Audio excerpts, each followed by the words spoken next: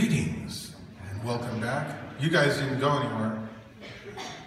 Um, this is the Laguna Creek Wind Ensemble, and uh, we're going to be playing three selections for you by ourselves. The first is a piece by Ralph Vaughan Williams.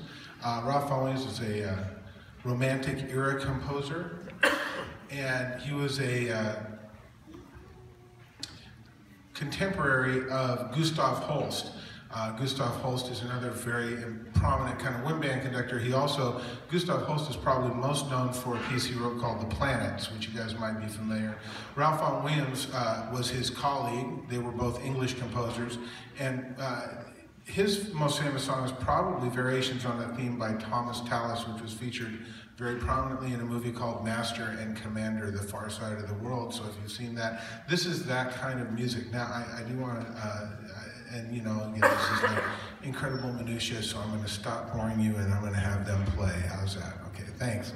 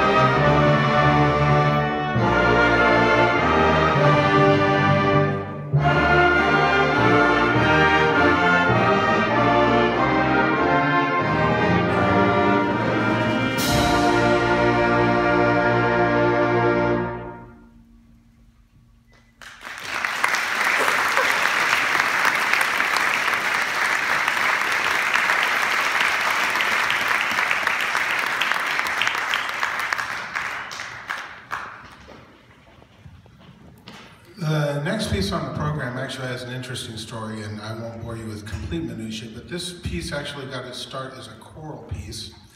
It was commissioned by a composer uh, named Eric Whitacre, and it was commissioned by, I believe, an all-state choir.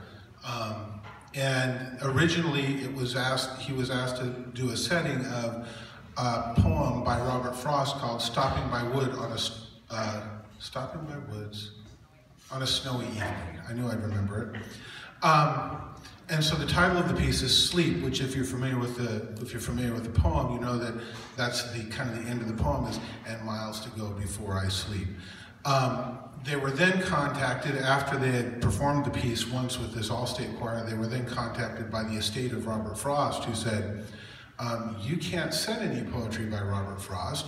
Only one composer can set any poetry by Robert Frost, and that is this composer over here, and you're not him, so you can't ever do this piece again. At which point, Eric Whitacre said, okay, and he went and found a friend to write a whole new set of lyrics to go with this choral piece, and then later on he, he set it for band, and that's this really wonderful uh, setting that we're about to hear. Um, this is not an easy piece, and uh, they're doing a great job. So uh, this is Eric Whitacre's Sleep.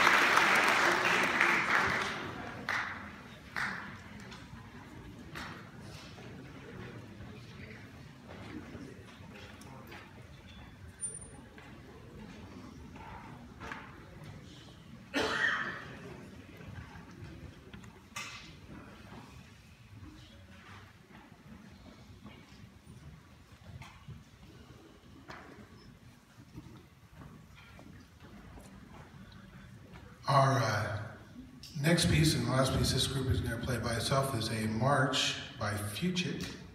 This is an Italian march. Uh, it's a, as a European march, it tends to be a little bit slower tempo, a little bit more reserved. Um, Fucik is also known for circus marches. His most famous is probably Thunder and Blazes. Uh, this is a pretty well-known march, and many of you will probably recognize it once we start it, although you may not know that this is the Florentiner March.